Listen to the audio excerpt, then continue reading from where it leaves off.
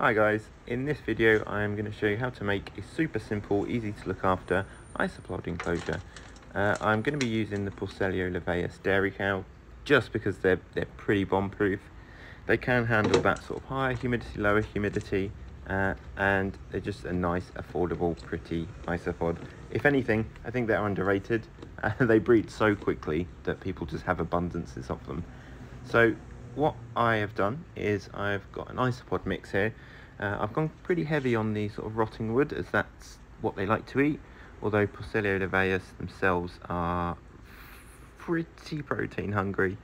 Um, so I will talk about that later. Uh, what I've done is I've got the soil, a nice bit of cork bark so they can hide under, and then I've used some uh, Mac moss. I'll put the name up if I need to, uh, as I've got a load of mosses in, so I'm using lots of different ones.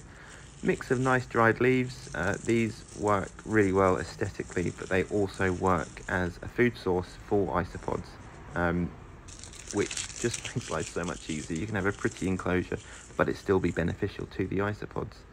Um, I love these guys, as I said, they're great as a first sort of isopod piece, species, just because they're they're bulletproof. They look nice, and I just I just love them. Uh, so that's basically all you really need uh, to get get started. I've got the rotting wood in the uh, substrate, which is what they'll eat. I've got the dried leaves, which they'll eat. So I'll just pop pop in the isopods now. The other great thing about these guys is they're big and they're bold, and they don't mind just sort of walking around and exploring uh, which for some other species you'll find until you get really high numbers they tend to hide up a lot, which takes takes the fun out of it unless you're really really into it. Um, so therein, what I also like to do is add springtails. Now I've got the standard tropical springtails, but I also have uh, Bilobella which are a bigger springtail species, and they're orangey red. I mean, they're super super cool. So I'll just find the damp spot as that's what they'll prefer, and just whack them in. Uh, it yeah, that's all all I do.